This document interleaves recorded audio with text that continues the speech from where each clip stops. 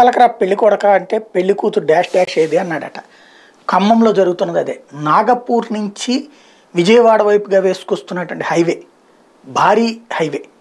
దాంట్లో highest route అయ్యేదే ఖమ్మం జిల్లా. వంద కిలోమీటర్ల పరిధి ఖమ్మం జిల్లాలోనే ఉంటుంది. ఈ హైవేకి ఒక విచిత్రమైనటువంటి ట్విస్ట్ ఏంటంటే ఖమ్మంలో ఇవాళ కలెక్టరేట్ ముట్టడి కమ్యూనిస్టుల ఆధ్వర్యంలో. ఏంటంటే భూసేకరణ జరపద్దు దాని రూటే మార్చేయండి అలైన్మెంట్. హైవేలు వద్దనే వెదవెవడన్నా ఉంటాడా? రైతుల పేరుతో తీసుకొచ్చారు. ఓ రకంగా ఏంటంటే ఇది ఒక పక్క బ్లాక్మెయిలింగ్ కాంట్రాక్టర్లను బెదిరించి డబ్బులు వసూలు చేసుకోవడానికి రైతుల్ని పావులుగా వాడతారు. ఇప్పుడు సాధారణంగా హైవే వేసేటప్పుడు ఎంత ఉంటుంది? నాలుగు లైన్ల రోడ్డు ఆరు లైన్ల రోడ్డు ఎనిమిది లైన్ల రోడ్డు ఎట్లుంటుంది? ఉంటుంది అంటే మధ్యలో పొలాల మధ్యలో నుంచి తీసుకుంటారు. ఖచ్చితంగా ఎకరానికి ఎంత ఖర్చు ఉంటుందో అక్కడ దానికి మూడు రెట్లు డబ్బులు కూడా ఇస్తారు.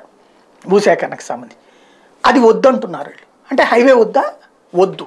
ఎందుకొద్దు? రేపు కాంట్రాక్టర్లు వచ్చి ఇలా డబ్బులు ఇస్తే ఓకే.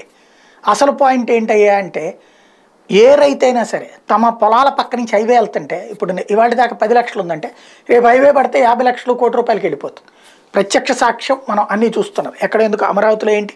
ఎక్కడో ఇరవై తొమ్మిది గ్రామాలు ఇరవై ఎనిమిది కిలోమీటర్ల మెయిన్ రోడ్డుకి దూరంగా ఉన్నటువంటి గ్రామాల్లోనే ఓ చిన్నపాటి రోడ్లు నాలుగేసేటప్పటికి అక్కడ ఏ రేంజ్కి వెళ్ళిపోయినాయి?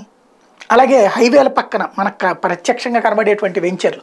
ఇదివరకు ఉన్నటువంటి పది లక్షలు పదిహేను లక్షలు ఉన్నటువంటి ఇప్పుడు పాతిక లక్షలు ముప్పై లక్షలు యాభై లక్షలు ఇట్లాగా పెరిగిపోతుంటాయి. అట్లాంటి స్థితిలో మ వద్దు అని ఉద్యమాలు చేస్తున్నారు అంటే దాని వెనకాల కలెక్టరేట్ ముట్టడి అన్నటువంటిది. ఓ పక్కన టీఆర్ఎస్తో కలిసి సాగుతూనే మరొక వైపున గేమ్ నడుపుతున్నారు అంటే బేరాలు ఆడుకోవడానికే అన్నటువంటి విషయమే కనబడుతుంది స్పష్టంగా.